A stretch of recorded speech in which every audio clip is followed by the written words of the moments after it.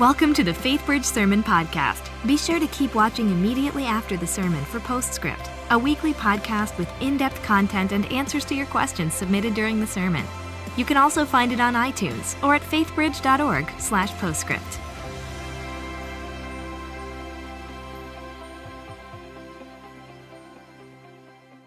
Something really cool is happening at FaithBridge. More and more people are deciding to resolve for more. Practicing the spiritual disciplines of reading and praying and giving. And already people are seeing changes. As we focus on caring for our souls by connecting with God, little by little, small changes are leading to big results. At home, at school, at work, and in our communities. Reading God's Word draws us closer to Him. It opens our eyes to His teaching and it gives us a better picture of who He created us to be. Praying and talking with God aligns our hearts with Him and it ministers to our own soul. And giving to the Lord helps us fully commit, surrendering a portion of our treasure to Him. And like anything worth doing, it takes practice, it takes time. If you've put it off or you're burned out, it's never too late to start or restart. Find a pace that works for you. A rhythm you can sustain, not just for a few days, but for the long run. One foot in front of the other, move towards your goal. You'll get better with each step. And you don't have to do it alone. That's why FaithBridge exists. People are here practicing their spiritual disciplines together, Encouraging one another keeping each other on the path. and putting the outpouring of God's life change to work. As our soul gets healthier, the rest of our life gets healthier. More and more people will begin to show the love, joy, peace, patience, kindness, goodness, Faithfulness, gentleness, and self control. That comes with a soul connected to God. And our spouses, our friends, our coworkers, everyone we interact with will begin to see the difference. Just imagine what that looks like when we do it together. In our small groups, serve teams, and grow groups, challenging and encouraging each other to stay on the path. Our entire church called FaithBridge gets healthier with each commitment to resolve for more. And as our relationship with God gets deeper, our impact in the world gets wider. Being the life changing hands and feet of Jesus, making a real tangible difference in our community and our world. And that's really cool. Join us. Read, pray, give, resolve for more. That's right. Welcome. So glad that you are here at FaithBridge today. If you're on the Klein campus, welcome. If you're at the Woodlands campus, welcome. If you're online, however it is that you're here, we're really glad that you're here. So, I should also say, if you're kind of new in the faith journey and maybe doing some exploration, really glad you've jumped in. And if you're a long timer and just continuing to grow, super as well, and everybody in between. So, we've been in this interesting series here in January that we've been calling Resolve for More, which I've been so heartened uh, to receive the feedback that you've been sending. Um, some of you veterans saying, you know, this was so good, just going back to some basics. have kind of gotten rusty, gotten away from those things. That is so good. Some of you who are on the newer side, you're like, oh my gosh, this is just blowing my circuits. And, and thank you for teaching us, like, just like how to read the Bible and how to pray and generosity. These are just so, like, really eye opening truths fantastic. So, as we come to the end of January, our real hope is that we'll continue to move uh, deeper into these things that we've been talking about. Not that they'll just get smaller and smaller in the rearview mirror and become an afterthought uh, of what we talked about in January, but that we'll continue to drill into these things. So on your way out today, we've got a little uh, little party favor for you. It's a, it's one of these little magnets that you can put on your fridge to hold your kids' artwork up and all that kind of stuff. And it's just a little reminder: read, pray, give of the things that we've been uh, talking about. And so the ushers will have those in baskets, and you can get one of those on your way out. And we'll just continue to uh, drill into those things as we move into February. So today, Luann Riley is going to bring God's word to us. She is a uh, gifted individual, able to just speak in such a clear way to our souls and is going to talk to us about this um, important subject that I'll just let her introduce to you. She is our discipleship director. And so, why don't we, right now, in all of our rooms, welcome Luann as she comes to bring us God's Word. Thank you, Pastor Ken. Well, good morning. My husband Justin and I and our twin boys, Beckett and Eli, we've set some resolutions for this year, and it's the first time that our boys have gotten in on the action. So we set them down around the kitchen table in January, and we had them set two resolutions for the year a school goal or resolution and a life or activity goal or resolution. And so my Beckett, he chose karate, or as he's quick to remind you, martial arts mom. He chose that, and so he's just getting started. So he set a goal of being a yellow belt. And so week after week, he's been working on his kicks and his punches. And honestly, I'm not sure that we thought this out because we have twin boys who are kicking and punching, but he loves it. And uh, even this weekend, he said that he's decided that he's going to be a black belt. Uh, so that's going well. And then I have my Eli, who has chosen basketball for the first time. And so this would be the first season that he's ever played. And so he's been in the driveway practicing, and he decided that his goal was going to be to make one shot in a game. And so he's been practicing with his team and in the driveway. Well, the first game came a few weeks ago, and we quickly discovered that making a shot in a game is completely different than making a shot in your driveway. And so the first game, Eli didn't really have an idea of what was happening, and he, he never even got the ball. And so he was frustrated. And he said, Mom, this is, this is hard. And he even mentioned during the week of quitting or giving up. And so his dad coached him and worked with him some more in the driveway and at practice. And so the second game came. And so this time in the second game, he had a little better idea of what was happening. And so he got under the goal and he got a rebound and he actually got a chance to make a shot. And now he missed this shot, but we celebrated because what a step to actually get to take a shot in the second game.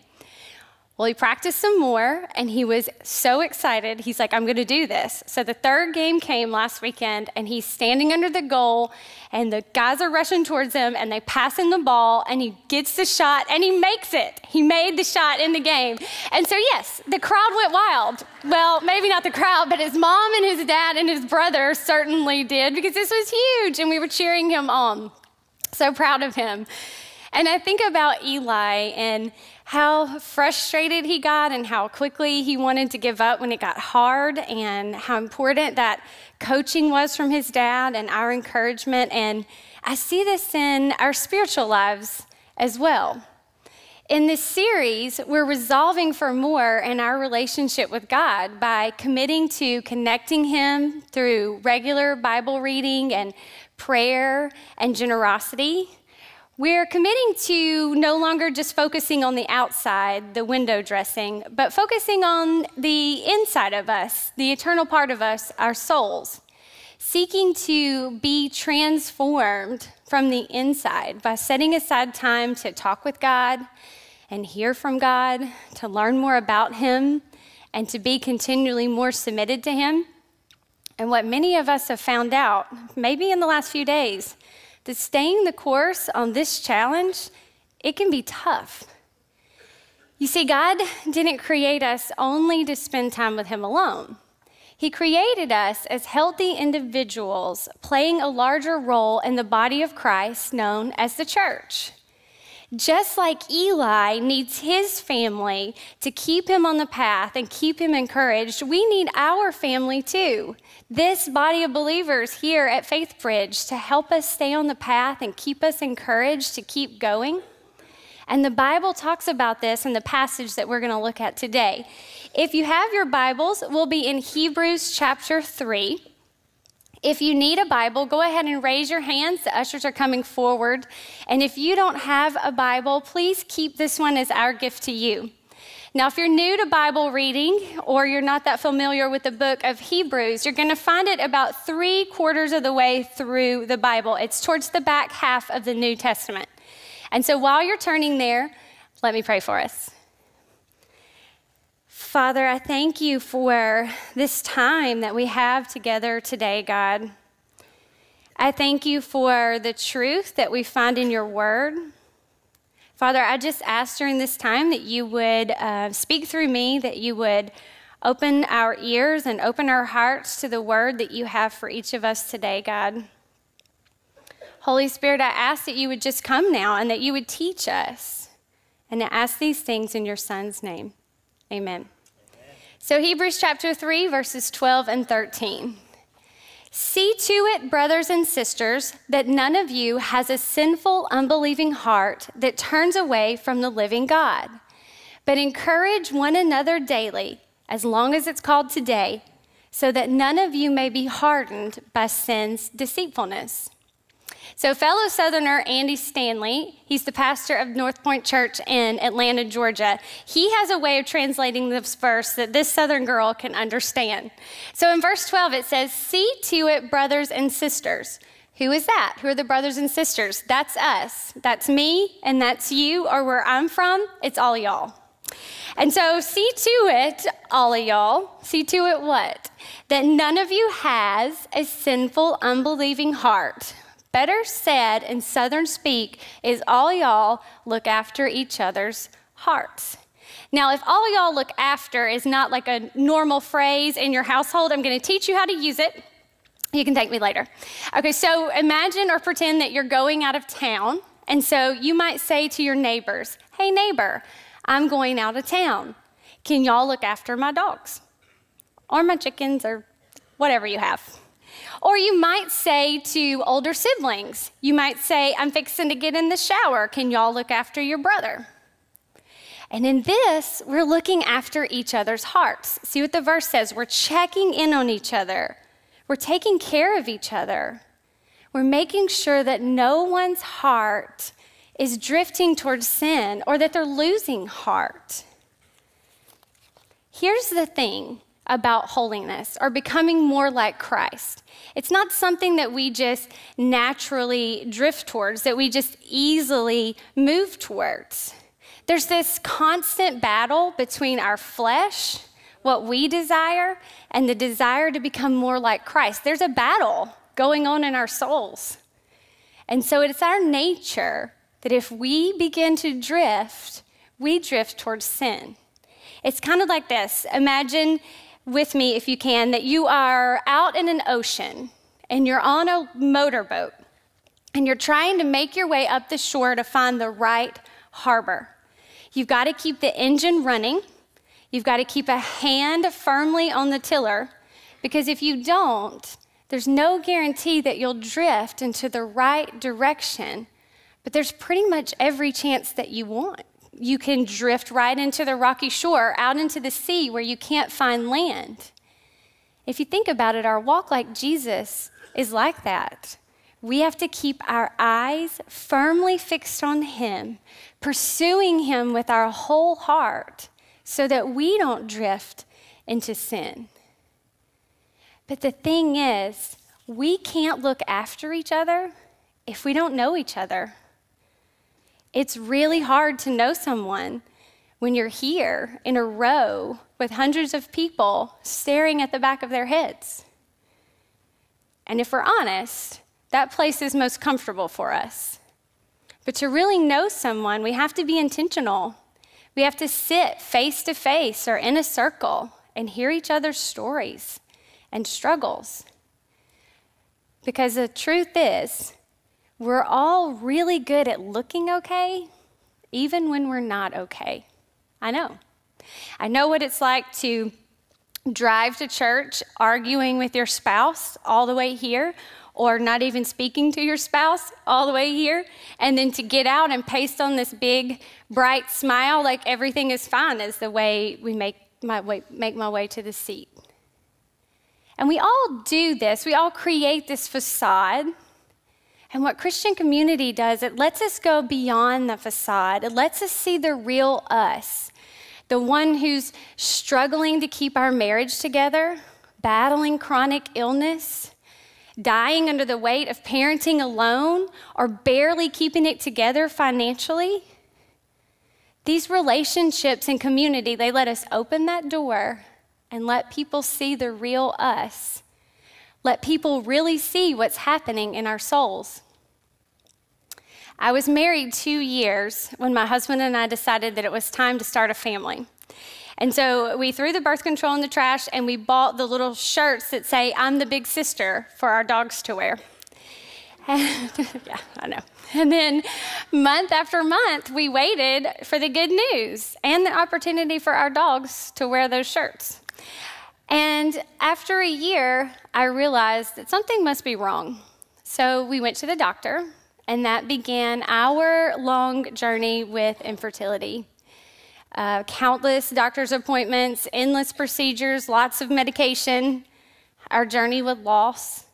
And in the middle of it, God moved us from Alabama to Houston away from our family and away from our community.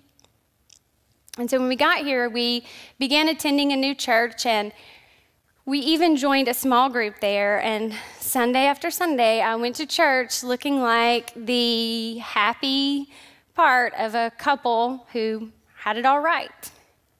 Oh, I would nod along to the teaching and I would sing the worship songs. And even in small group, I would contribute what I knew about the Bible. And if anyone asked us how we were doing, I would say, Oh, we're just fine. We're trusting God's timing. But inside was crumbling, I was dying. The weight of the disappointment of just month after month getting bad news when I felt like I was doing everything right I was becoming angry towards God. It took a toll on my relationship with Him. I was becoming distant. I wasn't setting aside time to talk with God or to read the Bible. And if I did pray, it was one prayer Lord, give us a baby. And I don't know how long this would have gone on if it wasn't for the women of our small group. They pursued a relationship with me and they invited me places and one night I went to a dessert place with them, and one of the ladies, she sat down beside me and she said, How are you doing really? I've been there, I've been through infertility, and I know it's hard. How are you holding up? With those questions, the whole story just came out.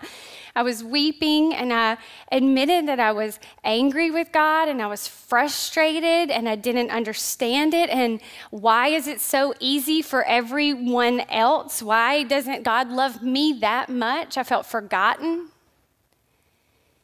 And I'll never forget what she said to me that night. She said, I know, I've been there. She told me some of her story and she said, What can happen in these times is that you can want that thing, whatever that thing is in your life. For you, it's a baby. You can want that baby more than you want God.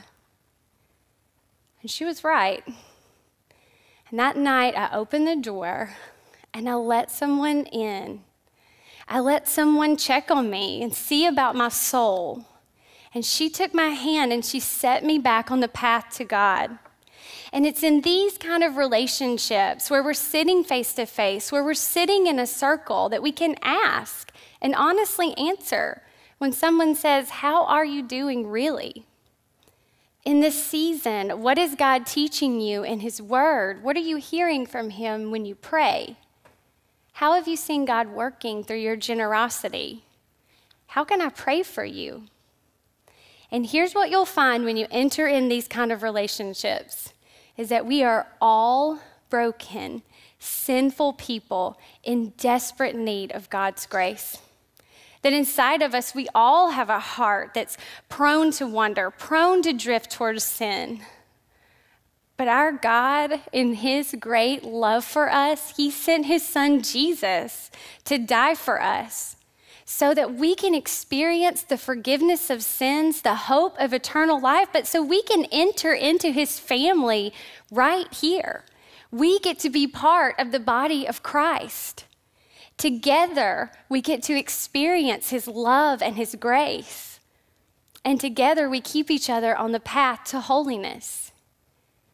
Not only do we need these relationships to keep us on the path to holiness, but we also need them to encourage us to keep going. Take a look again at verse 13. But encourage one another daily, as long as it's called today, so that none of you may be hardened by sin's deceitfulness. I think about my Eli and the smile that he gave us when we were encouraging him and the renewed energy he had to get back in the game. And it doesn't take much to see how important encouragement is in our lives. But biblical encouragement isn't about performance. It's not about just complimenting someone's hairstyle or uh, congratulating them on a sales presentation. The encouragement that the Bible speaks of is Christian encouragement. It's the kind that is intentional. It speaks to our hearts. It cares about our souls. It points to the evidence that God is working in our lives and our situations and assures us that everything we face is in His control. It's the kind that encourages us to keep reading the Bible even when it feels hard and to pray even when we don't feel like it. And to give generously to the things of God when all the things of the world are competing for our resources. One of the essential pieces of revol- resolving for more in our relationship with God is being surrounded by believers who speak these faith building words into our lives. It's so important, in fact, that the verse tells us to do it daily, today, every day. As long as we're between sunrises, we should be speaking words of encouragement to either each other, words that lift people up, words that comfort people, words that keep people running towards Christ. Because when doubt creeps in, when we're struggling to forgive, when that anger that we feel is maybe becoming bitterness, or we're struggling with trusting God when He hands us an unforeseen family illness, it's the words of our community that keep us going. My friend in our small group is in a particularly hard season in her life right now. Um, her father has been fighting cancer for some time now, and it's been a long battle, and they recently found out they're not sure how much time they have left. And I emailed our group and asked for stories of encouragement, and she was the first to respond. She said that the way that our group has prayed for her dad and prayed for her and supported her through this has left her not only feeling encouraged, but it's kept her going by pointing out how God is working in our family, even if it feels hard. When tragedy strikes, when we're in seasons of pain and suffering, it can be so easy to put these walls around our heart and distance ourselves from God and be hardened against Him. But encouragement, it keeps us from that. Encouragement, it points us back to the hope that we have in the gospel that this life is a, it's temporary. And one day we will enter into his presence together with each other. God is the architect of our hearts and our souls, and He has given us a life giving, life changing gift in Christian community. And it's this kind of community. It's what Faith Bridge is built on. It's more than just a place for like minded friends.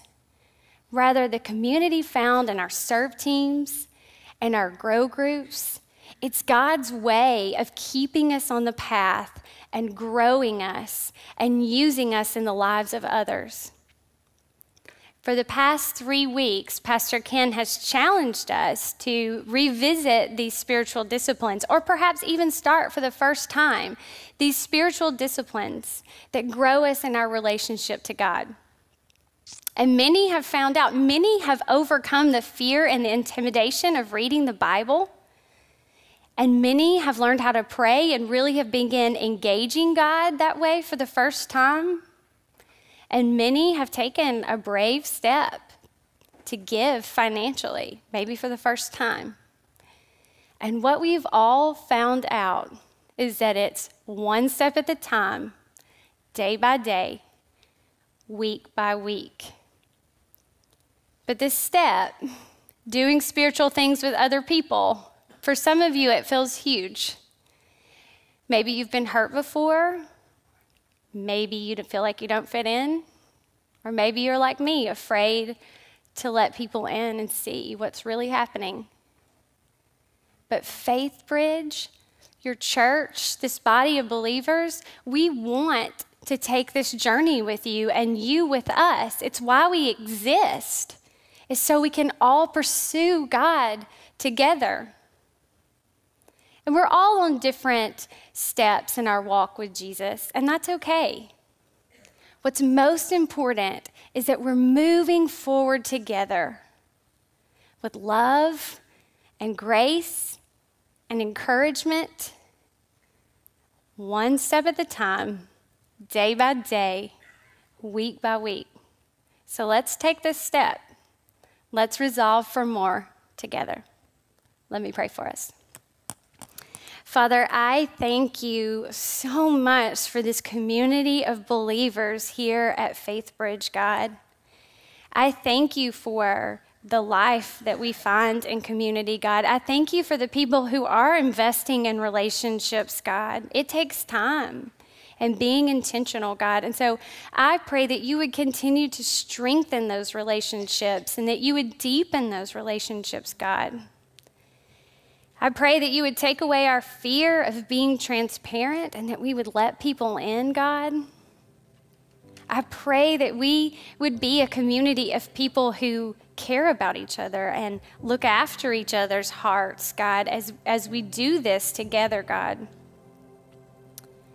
Father, I thank you for the way that you made the way for us by sending your son to die, God, so that we could enter into this community that you have for us, God. I pray we would continue to seek you through our quiet times and our times alone with you, God, but then I pray that we would seek you together, sharing and teaching each other what you're showing us. God, I thank you for the gift of community, and I thank you for the gift of Jesus. And it's in his precious name we pray. Amen. Welcome to Postscript. Here we hope to answer your questions and help you dig deeper into the messages and sermons at FaithBridge by talking with the teacher of the day.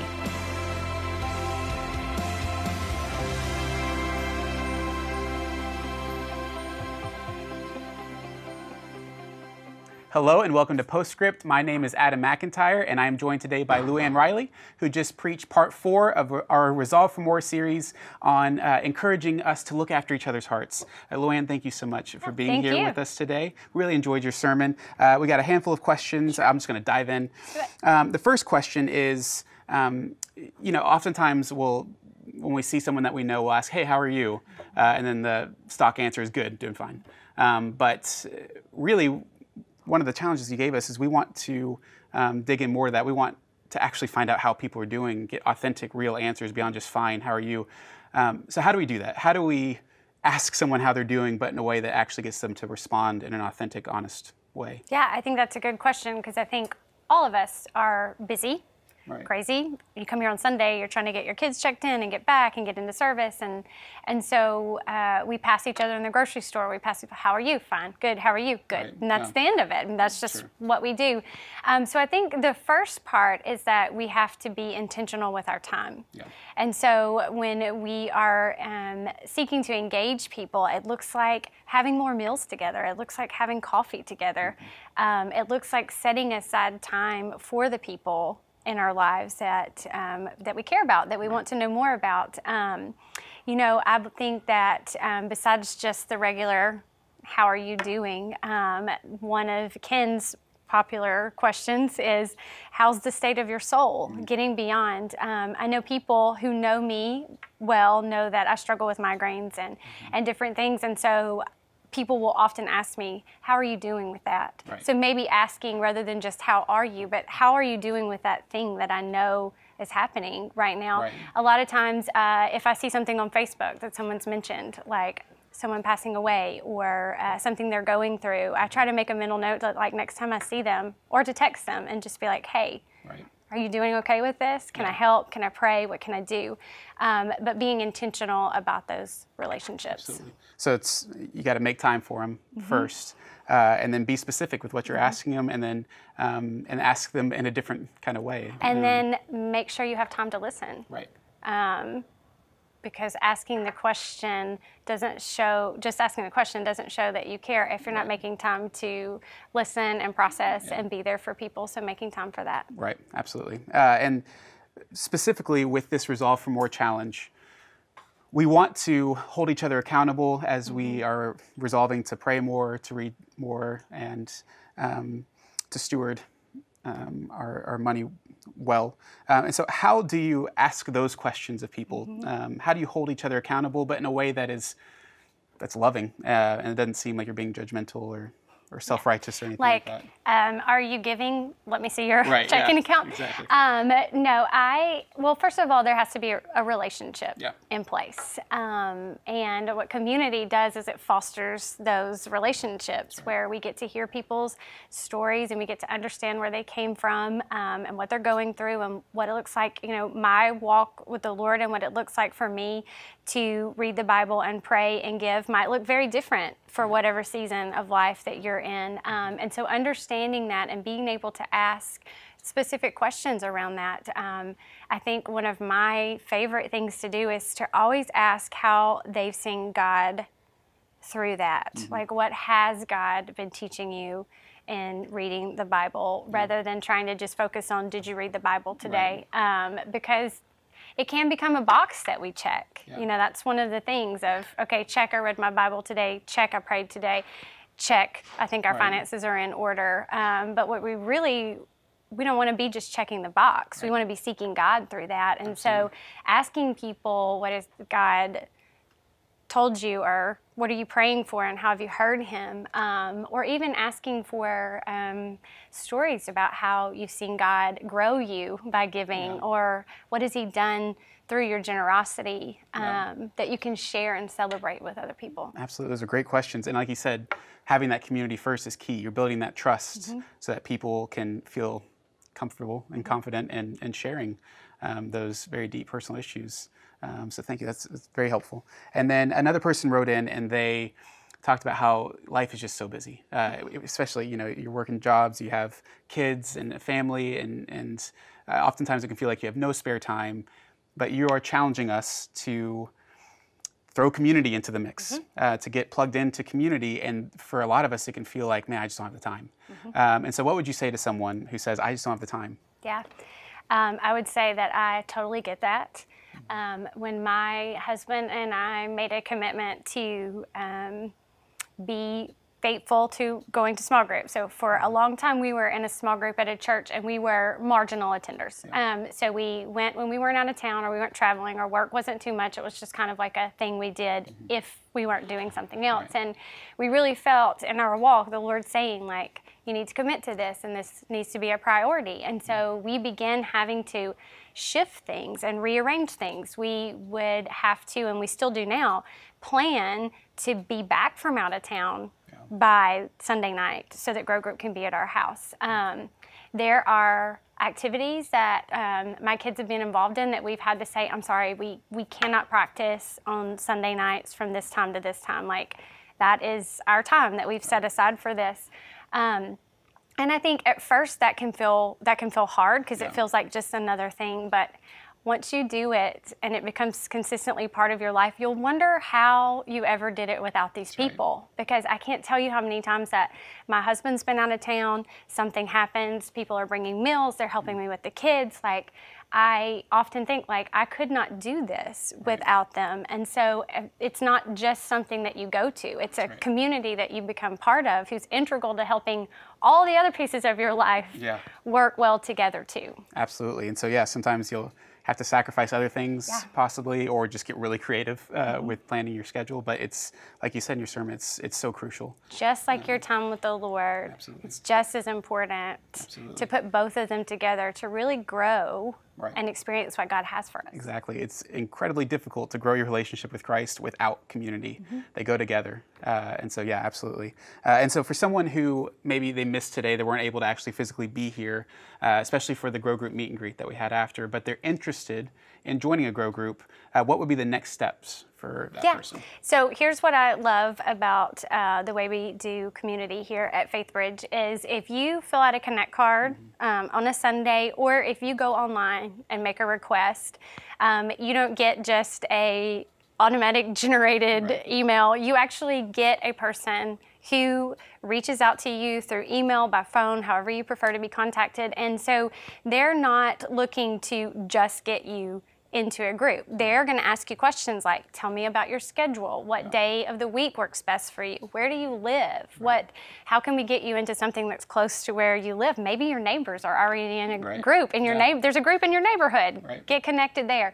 Um, so we really seek to not just connect to someone on a Monday night, but to to truly find a group for you where you can grow in your neighborhood with your people. Um, and so I would say go online or put on the Connect card, but know that we're, we're going to reach out to you and, and we want to help you on this journey of getting connected into community. That's right. We're not just sending them to a Bible study. We're not just sending you to a Bible study. We're sending to a group of people for you to grow with. And so um, I love the way that we get to talk to people and hear from you. Okay, let's let's find something that, that works. Yeah, absolutely. So go online, fill out a Connect card, or you can fill out a Connect card on Sunday morning and turn it in, and we'll get you plugged in uh, to a Grow Group. Well, Luann, thank you so much Thank you, Adam. for being here today, and thank you all for tuning in. We will see y'all next week. Thanks for joining us for Postscript. Help us keep the podcast interactive by submitting your questions during the morning services. Learn more at faithbridge.org/postscript.